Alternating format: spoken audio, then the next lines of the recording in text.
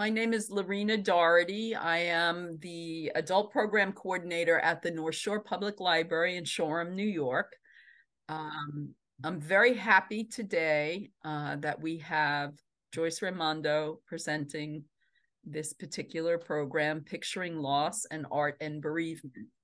Um, I just want to make note that if you do live on Long Island and live anywhere from, you know, Port Jeff out to the end of the island, we have on exhibit Joyce Raimondo's paintings in our gallery space.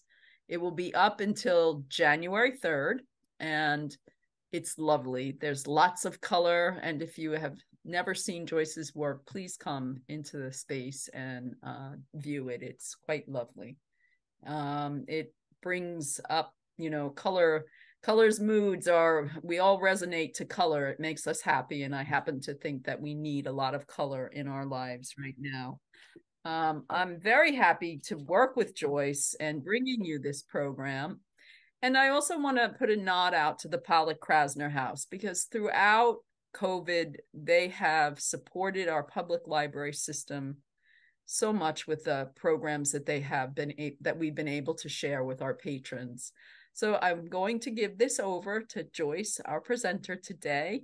Okay, Joyce. Uh, thank you so much, uh, Lorena and the North Shore Public Library. And of course, I'm hosting this program on behalf of the Pollock Krasner House and Study Center. We are a national landmark located in East Hampton, New York, 100 miles east of New York City. And I'm hosting this program remotely from my home and our director, Helen Harrison, is on the uh, Zoom program today. So special thanks to Helen for really supporting um, all of these education efforts uh, through the through the museum. So today we're going to talk about yeah we're going to talk about bereavement and art, and we're going to do this in two parts. I'm going to share a little bit about my history and my art as it relates to bereavement, Everything I say just only pertains to my own personal story. I'm not a therapist or an expert by any means. Um, we're going to relate to how art can help people express bereavement and actually move through uh, the process of bereavement. And then I'm going to show you artworks by Pollock, I mean, excuse me, by Lee Krasner, Pollock's wife, and other modern artists and how they express bereavement in art. Okay? And I hope this gives some inspiration. So, so the exhibit at the library, I called it After Great Pain.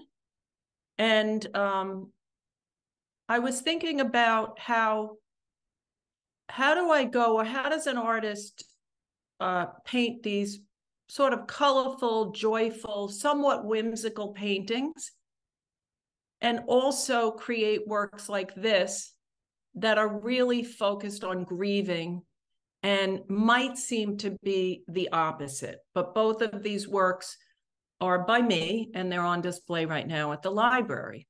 So I'm going to show you how this process evolved over time. Just a little bit about my own story. I grew up on Long Island in New York and I grew up in the 1960s and I had the most loveliest family, the most beautiful home and two wonderful parents and siblings and I really couldn't have asked for a more happy childhood. Sadly, this sort of picture of almost the quintessential idea, ideal family from that era came crashing down. I'm not going to go into details, but let's just suffice to say that my brother became very ill and he died at the age of 25. I was 19 years old. Uh, my father also had an accident uh, a year later, a very severe accident. And shortly after that, my niece died in infancy. So I was very young. I was a young adult dealing with all this. I was at School of Visual Arts in New York City studying illustration. And I went to the show uh, show at the Grey Art Gallery to see Frida Kahlo's work, who's on the right here. And I had never seen Frida Kahlo before. She wasn't a big name the way she is today. She wasn't a household name. And when I saw her artwork, I really distinctly remember thinking that loss is a universal experience. It is not unique to me, although it feels very unique, right? Um, and when I saw the way Frida Kahlo pictured her loss and her trauma and her pain in these very intimate paintings, it actually gave me hope. So some people might say, oh, that's so disturbing. I didn't find her art disturbing. I found it hopeful because I realized I could tell my story in art as well. I could have a voice about these experiences that I really could not articulate with words. I was also very inspired by Edward Munch on the left. And Edward Munch pictures the loss of his sister, and also he lost his mother as a child. And we see this theme of bereavement throughout his, his career as a painter. And this also gave me inspiration, you could say. It, you could say it even gave me permission to tell my story visually. Now, I was studying commercial illustration at School of Visual Arts, but this is what my artwork looked like. I chronicled all the details of the stories, the the visiting the hospital, the the casket, all of these these difficult subjects. And I also chronicled the, the feeling of anxiety and isolation that I was having. And before I left school, this rep came in and he said, Well, you should really get a job as a waitress because you will never find a job as an illustrator. Your work is too personal. And um, I don't listen to people who are negative in general. Uh, if I don't, especially if they're telling me something negative about myself. So I did pursue a career in illustration and I wound up doing illustrations like this that had a, a, personal psychological subject matter. These are editorial illustrations. And one of them is about a woman of teenage pregnancy. Another one is about a woman who lost her baby, um, things like that. So, in fact, I did find work as an illustrator, sort of weaving in this personal aspect of my work, weaving that into a commercial uh, purpose. But uh, what happened was, I, as a young adult, I had to move on with my life, right? I had to find my way in the world. And I tried to push the grief away by being strong, right? After, you know, when I was in my 20s. And guess what? Grief is not something you can will away it's not something that ever completely actually goes away right? You just eventually you learn to live with it side by side and it changes over time. That's been my experience. But when i was an older adult like in my late 20s i made these works that revisited this grief that was actually starting to rule my life because i had tried to suppress it. This is a book that i made and it's layered you take the cover off and then there's this heavy brick and then you you as you uncover the heaviness underneath is are these fragile uh, pages that you could turn and tells about some of the guilt and remorse that I was feeling. If only I could have controlled the outcome, right? If only I could have changed things. We all know that we can't control outcomes. It's actually completely irrational when we're grieving, we might have remorse, but the truth is we cannot change or control someone else's illness, right? If we could, that would be nice. That's just not the way life works. So I worked through some of these issues with the art. And because so painful, there was a part of me that really didn't want to deal with this, that didn't want to expose this. So I did these pieces where I wrapped canvases and sort of simultaneously unwrapped them. The canvas becomes a bit like a sculpture. And it really is the idea of wanting to cover something up and wanting to uncover it at the same time. It's sort of a paradoxical tension. But the only way to heal is really to bring that out into the open. But the healing, like in this piece, the little stitching, it is never 100%, is it? Right? It's not a perfect healing. It's more of a, the healing is imperfect, right? And I started to find my way through meditation and spirituality. And I did these pieces that are sewn on grids. And these, these are made out of tissues, like Kleenex tissues, for example, facial tissues. And I would stain them with tea, and they would get a little harder, almost like a papery substance. Tear the edges into like about a half inch rectangle, half inch by one inch rectangle stitch them together in a grid, and then embroider tiny little words onto each patch, and then piece by piece, bit by bit, sew them together. This particular one, it's called After Great Pain. It's a poem by Emily Dickinson about grieving. She says, After great pain, a formal feeling comes. It's about this stage of grieving, in my opinion, how I relate to the poem, when the people have gone away, right? Nobody's really calling you anymore. Nobody's worried about you anymore. You're just stuck in your day to day life, right? And it's an indescribable kind of grief because in some ways your grief becomes imperceptible to out the outside world, but you still feel it within. So these pieces are sort of the words are practically imperceptible. And I was, that's what I was conveying in this piece. Now, this is just a tiny section of it. It's very, very long. It's like a scroll. And I did several other pieces like this. I consider it a meditation because of the repetition of it. And I started to work with these fragile materials, piece by piece, sewing together little bits and pieces to make these tiny figures out of this one is out of latex this one is also out of dried flowers and um, pieces of tissues. And they take a long time to make. So I was sort of working with the contradictory idea of how life is so fragile, and yet we also put so much effort into it, right? It's important, but we also at the same time know it's so fragile. And amazingly, these pieces have survived. This one is glycerin soap stitched together. So I'd like to discuss a little bit in general how the, for me, but I think it also is more universal, how can our pain benefit other people? How can we use our pain, our loss, to help somebody else?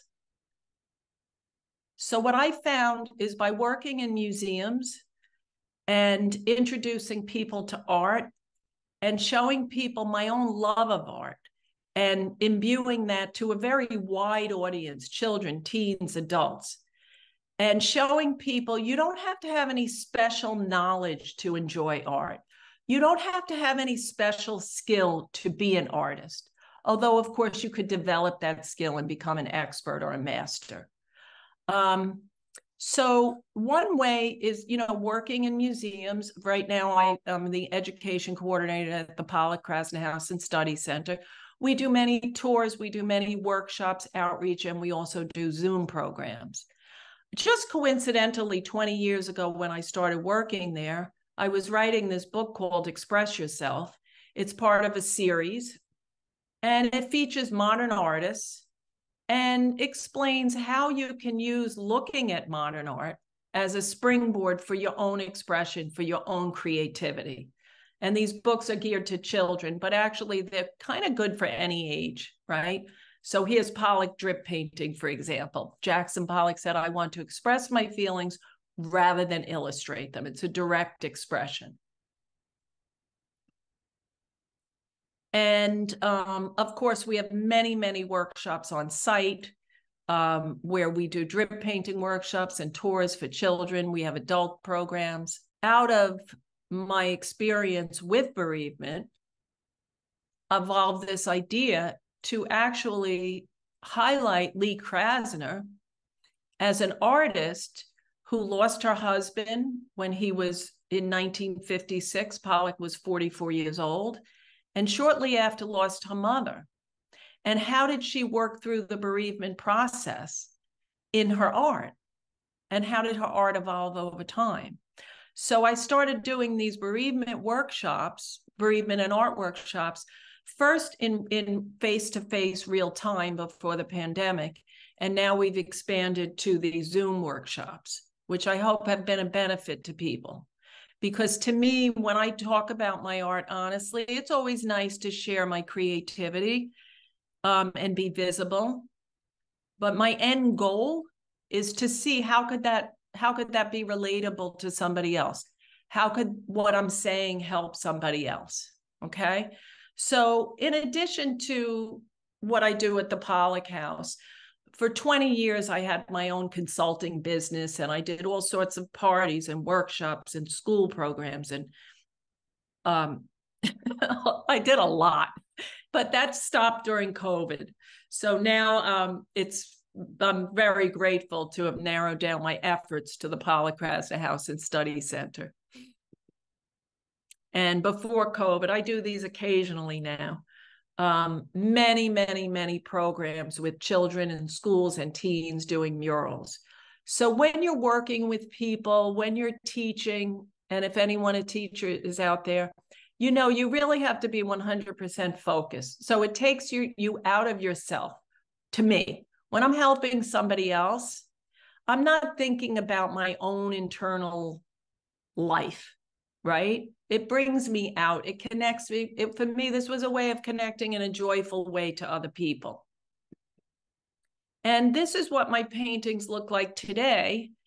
Um, I've always loved color, and my illustrations were very colorful. I also feel I do have a rhythmic sense. You know, I love dancing. I love music. I'm pretty good at picking up musical instruments, things like that. And so my paintings have this overall kind of rhythmic feeling, but there's always an irony. I teach abstract expressionism, and my paintings do not show one single brushstroke. So, you know, when I tell people to experiment with paint and things like that, like Pollock and Krasner, I don't do that in my own art. They're really more graphic. But within that, there's a lot of movement and playfulness. I find um, that when I'm painting, these are three by four paintings, when I'm painting in this very meticulous way, which requires a lot of steadiness and it's very slow, I find this to be sort of like a meditation. It slows me down and I'm kind of just immersed in this world of color. So all of these have words embedded into the designs. This says can't figure it out. And I think in all of my works, I like this idea of paradox and ambiguity. Um, now, what is a paradox or ambiguity? Ambiguity is when you there's not a clear cut way of seeing something. And I think that's what I love about art in general. We're all going to see it in a different way. You could see this as a maze, you could see this as a, a lot of different things. Or you could actually read the words themselves. It says face it three times, right? This one says focus. And some of them are kind of just deadpan. This says fluid. The paradox is that it's completely not fluid. It's really done in a very tightly, a very tight way of painting. This one says full everybody thinks these are cheerful, but I think sometimes there's always the opposite can be true. So full is like, oh, it's a full life, it's a good thing. But also it can be overly full, overly active, and then it's not so good, right? And lastly, this one says free, same thing. Free is usually thought of as a positive thing, but freedom can also create a lot of anxiety as well. So um, this is a little bit about my story in terms of art and how I've evolved. But I do want to say this that in addition to art, these were different aspects that helped me move through the bereavement process in my life. One is not judging what I feel and accepting it at face value not telling myself I should be over this by now, you know, not listening to what people say, even. Oh, it's been a year. If you're not over it now, you should take an antidepressant. No, I will feel whatever I feel when I feel it. It's not going to kill me. Support. It's sometimes for me, it wasn't enough to have support from a friend or even a family member because family members are going through their own grief. And I felt like I needed to have support from more of like a group. Compassionate Friends is a group on Long Island, all free. It's geared to people who have lost siblings or children. I found this really helpful because when I was talking to other people who lost siblings, no one could understand like those siblings because there's a common thread. And one of those threads is that the sibling is invisible. Everyone is focused on the parents. The sibling, the parents are no longer actually available for the child who's still alive. They're going through their own grief. So sharing things like this with the other siblings was very helpful. And then, of course, we have wonderful hospice groups on Long Island that are really excellent for if you've lost a spouse, a friend, anybody. You go and you share. No one gives you feedback at these groups. That's what's so great about it as well. Um, counseling, of course, can be helpful. For me, spirituality found in um, meditation, found in spiritual groups, found in yoga, things like that, making an effort to have a spiritual practice. That's just me. Exercise is really helpful, moving, even dancing is a way of moving that grief through through my body. Um, learning how to ask for help from other people, learning that it's okay to call someone and cry, right? It's okay because if someone is a good friend, they will listen to you. And if they don't have the capacity, then find somebody else. Uh, reading about grief is helpful, but it doesn't exactly take away the grief. I'm not going to lie. it's like, great, now I know the five stages. I'm still in pain. Um, but it can be helpful because you realize you're not losing your mind. If you're up all night and you have insomnia, you're not going crazy.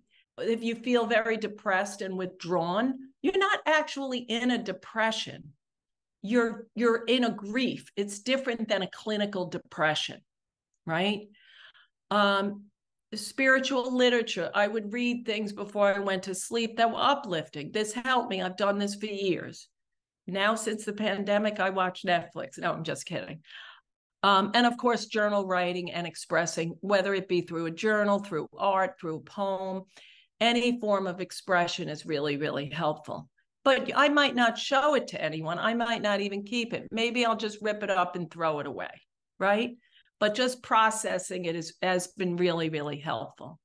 And eventually, you know what? The joy comes back. The joy comes back. But I'd like to say this about my own experience.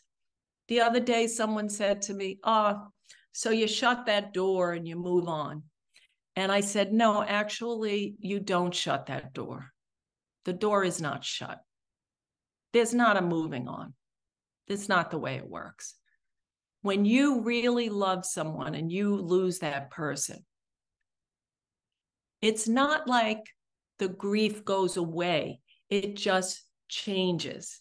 It takes another form. You live, you walk with it through life. This is for me. When I'm saying you, I should really say I. And I feel that living long enough has given me the opportunity to see how I could actually find meaning in the experience.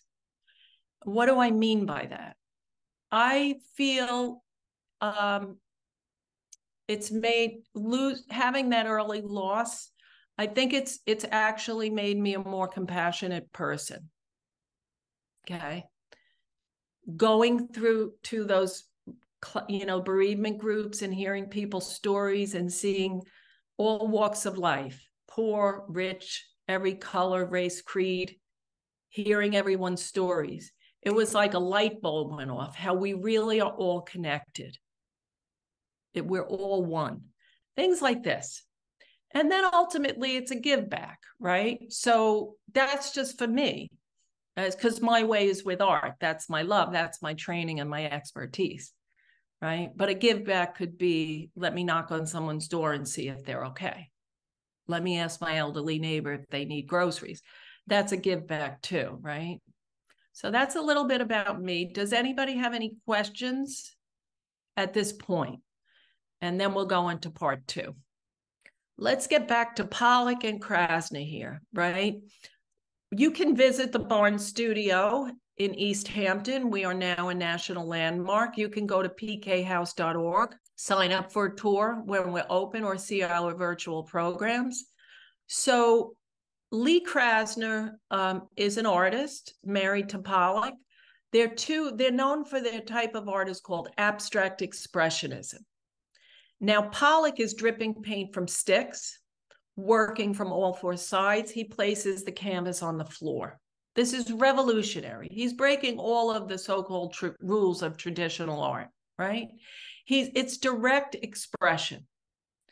Uh, Lee marries Pollock, and um, she knows that he has a drinking problem before they got married, and you know loves him and marries him, hopes for the best, I'm sure. And Lee manages Pollock's career she always paints while they're married, but she puts her own career on the back burner. She helps promote Pollock, negotiates with Peggy Guggenheim to get Pollock a monthly stipend so he doesn't have to work at a job. And Pollock catapults to fame. He is the front runner of the abstract expressionists of that era. He's doing very, very well. Pollock, Pollock is sober for two years when he makes his great drip paintings and then he relapses. In Pollock's case, his relapse was severe. His behavior becomes erratic. He starts a marital affair, and eventually he he's driving uh, while intoxicated and crashes into a tree and dies at the age of 84. Edith Metzger was in the car. That was his mistress, Ruth Kligman's friend. Edith died, and Ruth lived to tell the story. Lee wasn't in the car. She was in Paris at the time. Okay. And Lee comes back to East Hampton and one year later resumes her career, I mean, her art in the Barn studio. Okay. So, what you're going to see in Lee's paintings, she says the painting becomes an element of the unconscious as one might bring forth a dream so the abstract expressionist artists, they don't have a preconceived idea in mind. Then she's not working from a sketch. She's painting directly from her unconscious. A dream, a dream is unpredictable. We don't necessarily even understand our dreams. They just happen, right? And Lee said the painting happens. It's as miraculous as a lettuce leaf, she says right? It comes through her. So this was a painting she made that she started before Pollock's death. She worked in a little room up in the um, house. And when she went to Paris, she contacted Pollock. She was troubled at by this painting. She actually put it fa- facing the wall.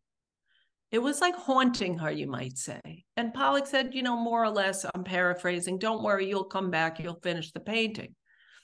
Um, but she gets the news at that time and comes that her husband died and comes back, finishes this painting and calls it prophecy. So I'd like to hear from you. What do you make of this image? There's no right or wrong way of looking at art. Anyone?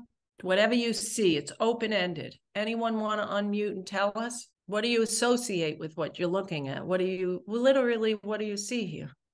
Someone trying to the right. Can you can you say that again? I think that's so here, right? Yeah. Uh, yeah. Someone's crying to the right of the picture. Yes, it looks see.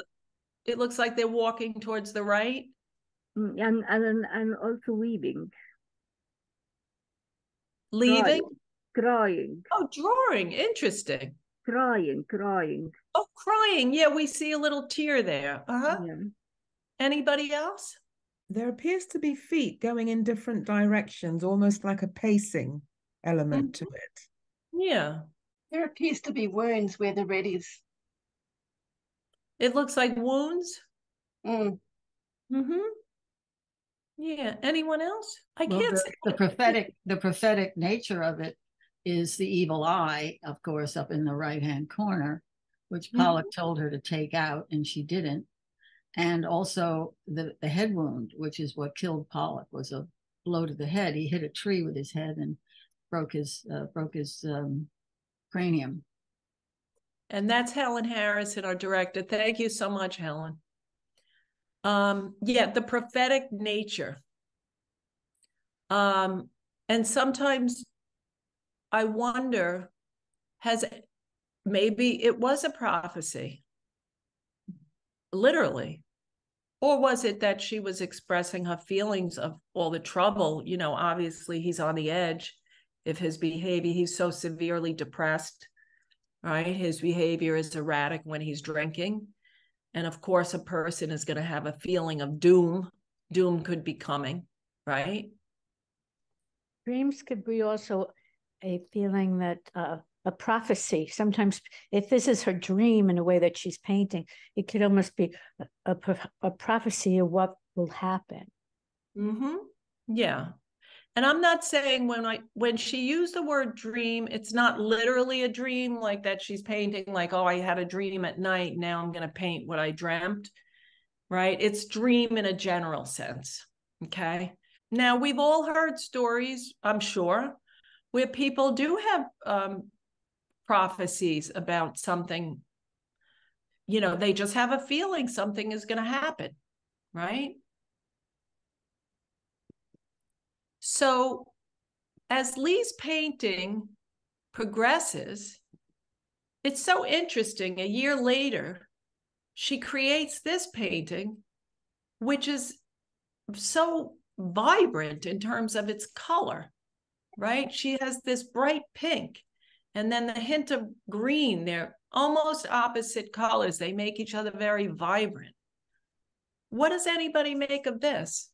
Or Helen, maybe you want to weigh in on this one, Sun Woman One. Well, if you compare this to prophecy, it's it's this kind of echoing figure. It's got the feet down at the bottom. It's almost an, uh, a kind of paraphrase of prophecy, a, a bloated central element, but it's so much. It, the, the mood is completely the opposite it's so it's so vibrant it's so invigorated it's so life affirming and she's in mourning. I, I, mean it is it's totally contradictory if you think about what she was going through at the time but it seems to me and it seemed to her friend B.H. Friedman that this series of paintings which she later called the earth green series were an antidote to her grief. Uh, that's really interesting helen because when I made the title After Great Pain for my exhibit, I actually was thinking about how the idea of an antidote to grief, this is just my own theory. Uh, maybe a person, an artist, has to go to almost an extreme opposite to offset the grief, like super life affirming, super bright colors. Or even I think of um, Tony Vaccaro, who who photographed the war photos of World War II, which was so morbid at times, and then later on photographs the most beautiful of cultures, Sophia Loren, Jackson Pollock, the celebrities, so life affirming. And I wonder, and I've known other artists who could fall into this kind of realm. And I wonder maybe after you've had a great pain, a great loss, that maybe you need to actually purposely do things that are an antidote to it. But that's just she my own. own. done it purposefully because that wasn't the way she worked. It's just what came out, like you said, the the kind of fugue state where you face the canvas, the canvas is blank, and you have to project something onto it that's coming up from inside yourself. And what came up from inside her was was very positive, even though her emotional state to the outside world was very negative. So it was it was shocking to her friends. The poet Richard Howard asked how she did that. He he was just uh, astonished, and she said she didn't know. Can I add something to that? Can I add something? Of course.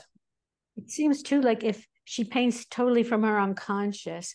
Sometimes the unconscious is further ahead than our conscious mind. So Mm-hmm. she could be coming out, or there could be a piece of her that's the leading edge of who she is as she's painting this, and she hasn't quite gotten there yet in terms of her consciousness. That's a really good point. Mhm. And there are many of these pictures. It's not just a one off, there's a whole series of them. I wonder too, um, we can't get into, we can't speculate what is exactly in Lee's mind or anyone's mind for that matter. But I wonder sometimes when uh, we lose someone, there's also a feeling of freedom or a Mhm. feeling of relief, especially if the person was ill physically or mentally. Mhm. Right. Um, this is the seasons. This is a very large mural sized painting. I love this painting because to me it looks exuberant and it has these opposite colors and it's a rhythmic dance almost, right? Lee is an action painter.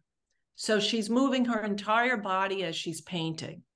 That doesn't mean she's doing it randomly, but she you can imagine her in the studio swirling as she's she's using her whole body, she's releasing her energy and her action is visible, her brushstrokes, her movement.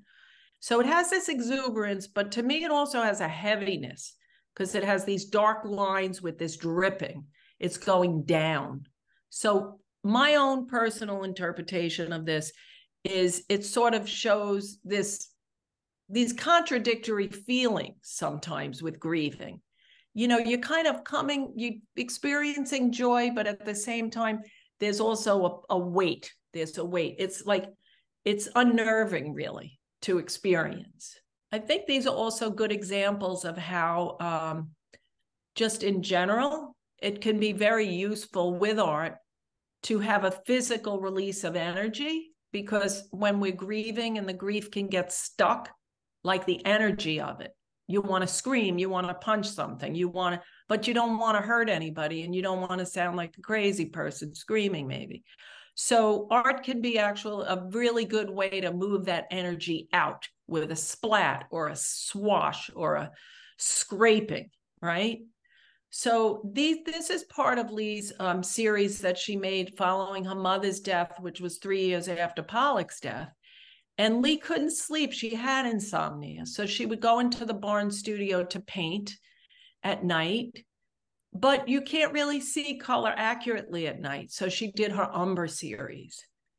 And I think these are pretty clear of how this is really a physical release of energy. But like I said, that doesn't mean it's random or chaotic. Okay, next is Frida Kahlo. Frida Kahlo says, The only thing I know is that I paint because I need to. And I paint whatever passes through my head without any other consideration. So we see there's a similarity to Lee in terms of um, this really, it's an authentic expression of the inner life. And Frida Kahlo says, I don't paint my dreams, I paint my reality. So her pictures, of course, are very different than Lee. She's doing, she's making narrative paintings. Most of them are on a small scale and they really invite the viewer into this very intimate look at her inner world. And they tell a true story but she's telling the story with elements of imagination. So you often see or several times in her works the two fridas. One is on the left one is on the right. I didn't put the title because i want you to just read the picture. So what's going on here? What is the woman on the left what do you notice about her and the one on the right? Anyone want to unmute and tell us? Well, the one on the left looks like she's had her accident and she's hurt herself, right? And she's hurt her back or whatever happened. She looks like Mhm. she's on a stretcher, right? And Mhm, Yes. Frida Kahlo was in a bus accident as an older teenager. A rod went through, a metal rod went through her pelvis. It was a miracle that she even survived. And she was bedridden in a cast, a heavy cast, for months and months. And her mother set her up to paint. She had already painted, but now laying in bed, she was really painting full time, not full time, but you know, focus because it was really the only thing practically she could do. But that set her throughout her whole entire life. Her art is like a visual diary, right? And she had, I think, at least 40, over 40 serious surgeries throughout her short life, right? She was in a lot of pain, a lot of suffering because of this accident. So, what do you notice about the person on the right? Well, she's holding her back brace so that she wants you to know that this is what's holding her up. But she's also holding herself up in a very regal way. You know, she's saying, I am, I am overcoming this, but I have to use this device to to make it happen. So she's she's not hiding the fact that she's an invalid, but she's also showing that she can use her strength of character to overcome this deficiency. Mm-hmm. And what makes her look regal, Helen? In well, your... her, her carriage, her posture, which of course she's taken off the brace. So she's she's not wearing it, at least as far as we know. She may have another one on for all we know, but she's saying, here's this is the brace, this is this is the my support, my structure, but I've got my own structure that is su- supporting me. Mm-hmm. Could she also be saying, I am still beautiful? You mm-hmm. know, I'm injured, I'm an invalid, but I have a beauty about me. 100%. percent mm-hmm. Frida Kahlo first of all, she adorned herself, her hair, with beautiful hairstyles, flowers, makeup, earrings, uh, folkloric, traditional Mexican clothing. She took pride in her Mexican heritage. She celebrated her beauty. It was not a typical beauty for that time, right? Um, and it still isn't a typical beauty, but today she celebrated her images all over, right? She celebrated it uh, through her her unconventional beauty, you could say. And in the flag she's holding, it says, Stay strong, tree of hope, right? And I wonder, I love this because it's also like a cycle, right? I wonder which is the present moment. Is she visualizing herself in the future or is it the present moment in the red dress remembering what she was like right? It's like a cycle. And then in these uh, paintings you'll notice that the setting and the landscape tells about the psycho- psychology of the character right? So it's a little mysterious. The the it looks to be daytime on the left side nighttime on the right we have these crevices. It looks like this dry land, but then we see the green on the right. Maybe it's symbolic of healing, but imperfect healing, right? The crevices are still there. And, there, and there's also a, a, grittiness about her personality. And you'll see, uh, for me, that rings true. And when you see the earth underneath, you know, there's a fragility, it's broken, but she's, she is okay yeah there's a, there's a resilience. Yes. And that's what i love about these artists lee and frida kahlo. The resilience is remarkable remarkable and the way it comes out through their art. Also the pose. She's sitting in this regal pose but she's sitting like a man essentially. She's sitting in mm-hmm. a masculine pose the way her legs are positioned right and you'll often see this with Frida Kahlo also. This is a detail of the broken column, right? She's exposing her pain. She exposes the most intimate details of her life. This is self portrait with cropped hair done after her divorce from Diego Rivera. We're not going to go, we don't have time to go into this one right now.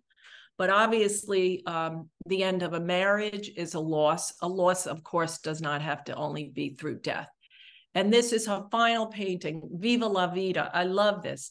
It's filled with life in different stages the seeds, the half eaten, the whole. And I think it's interesting. We have these complementary colors of red and green, similar to Lee's paintings, and she often uses red and green. And this is what I was saying before. Is it like you have to almost have this brilliance to kind of assert, right?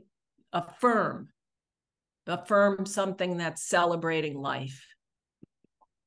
So Edward Munch, I touched upon before, he says nature is not only all that is visible to the eye, it also includes the inner pictures of the soul. So Edward Munch, he's not painting what someone looks like. No one has a green face. He's painting, he's projecting his feelings into the painting and also painting the feeling of the people in the painting itself. So what do we see happening in this picture here? What do you suppose is going on here? It's a deathbed. It's a deathbed. And who can go further with that? It looks like Christ. I mean, it has a Jesus look to it. And what makes you say that? Um, it looks the coloring of his hair, the, the spirituality in his face and the beard. I don't know why. I just feel it's, I don't know why. It just feels like this, and this is maybe a Madonna. I don't know, coming to get blessed. I don't know. Interesting theory. Who would like to um, add to that or has a different viewpoint about what's going on? I, I believe it's the death of his sister, isn't that correct? Yes, but what's interesting, Helen, is this is the sister's deathbed and the mother, but this woman just said it has a Christ like feeling. And after looking at this painting many times with many people, we see that the girl in the bed is surrounded by white. She's surrounded by light. It's as if she's fading into the light, right? Mm. She's mm. becoming more ephemeral. So, in that sense, it's Christ like, right? It's divine light. And then we see the mother clutching her hand. And we might wonder is the mother praying? Is the mother trying to hold her, right? Not the mother doesn't want to let go. And the, the, the knuckles are like red or reddish rust color, right? And this is just such an amazing picture to me. The mother is in black, which is the in our culture is the Western culture is the color of grieving. And there's such a weight to her figure, right?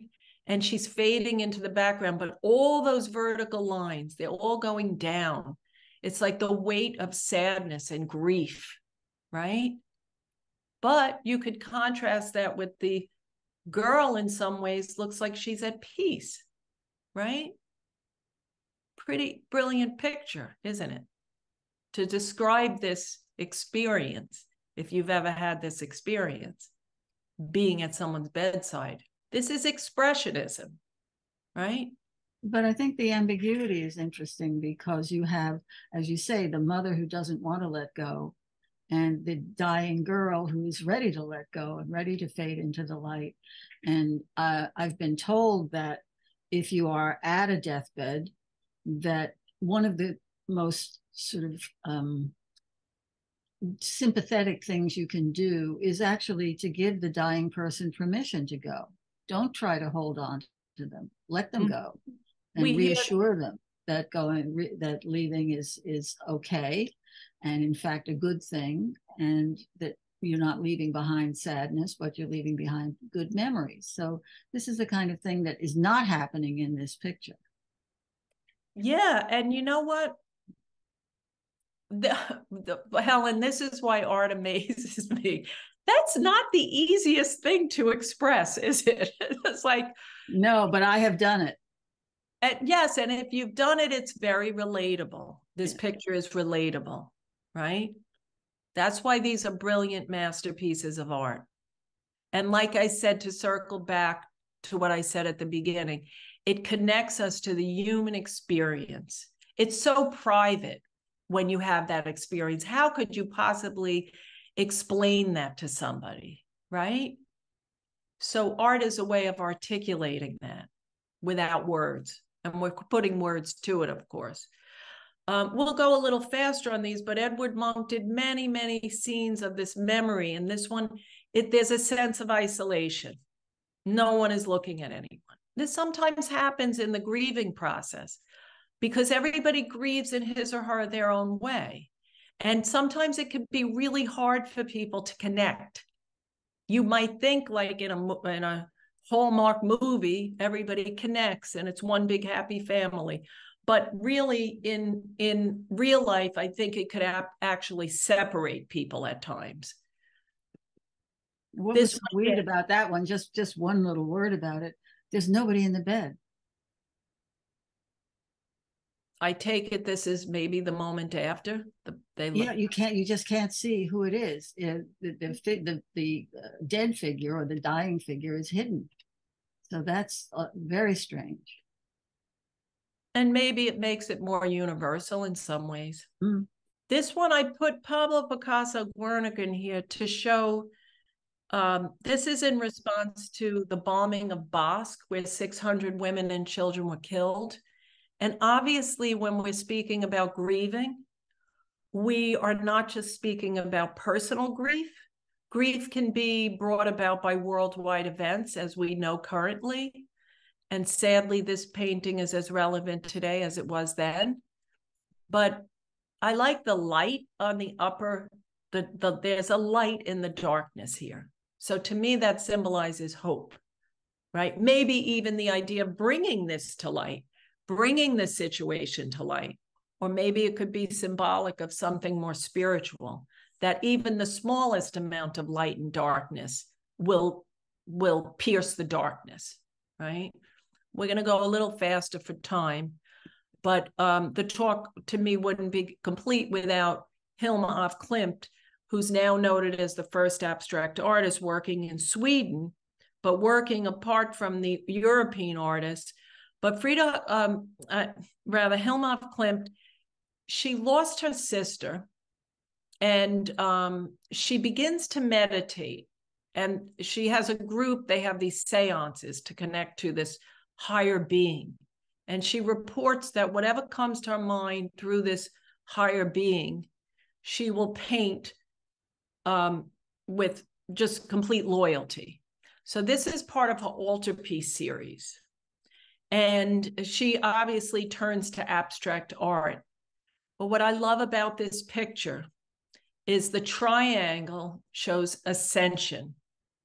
It's an upward movement, but the triangle is stable, it's unshakable. We see this triangle in many religions throughout the world the pyramids, the trilogy in Christianity, the Star of David, right? And we have the circle at the top, which could look like a radiating sun or even a halo. The circle is symbolic of eternity, of unity, right? But then we have that little triangle, that black triangle. It's it's as if it's the intersection between, let's just say in quotes, heaven and earth, right?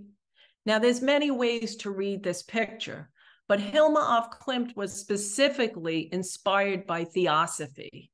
And theosophy is a is a not exactly a religion, but it's a movement that brings Eastern culture and Eastern spirituality to the West at that time. And theosophy has specific meaning for these various shapes and things like that.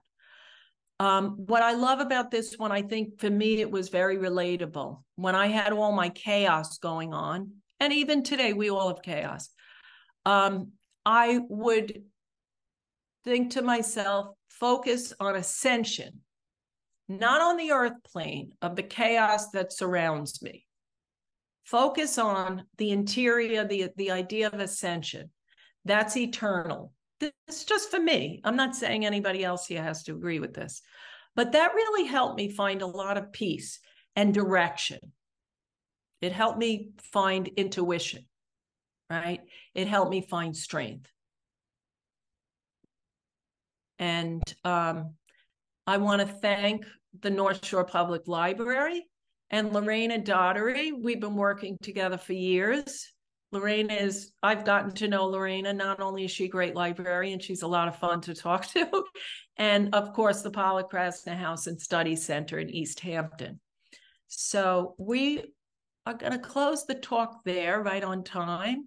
I'd like to say thank you to Joyce because this has been such a wonderful program that she she created she produced it she uh, not just the, what we have tonight but a whole raft of other offerings. And i will say that just today i got an email from the new york state council on the arts renewing our grant for yet another year And so I want to thank Governor Kathy Hochul and the New York State Legislature for their support. This is the third year in a row that we've been supported by them.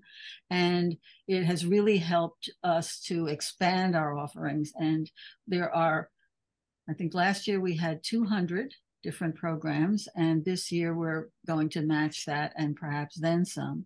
So it's been a, just a great uh, opportunity to reach out and Conversely, I hope that those of you who have been attending these programs will come and visit the Pollock Krasner House when we open again next May. Uh, thank you so much, Helen. Thank you, Lorena. And everybody who came to the program, thank you for your thoughts. And um, really keep in mind that whatever I discuss, it's my own personal journey. And um, there are times when we're grieving, we can't make a piece of artwork, let alone get off the couch. Okay. So if you are grieving, you know, just take it for what it is your experience. Don't ever compare yourself to somebody else because you really don't know what somebody else exactly is going through. Take it from your experience and reach out for help. That's all I would like to say and um, but don't ever compare and think how did she make these artworks when i what's going on here? You don't see all the ins and outs of it right? So don't compare ever your outs inside to someone else's outside. So anybody everybody thank you so much. Have a wonderful day or evening wherever you are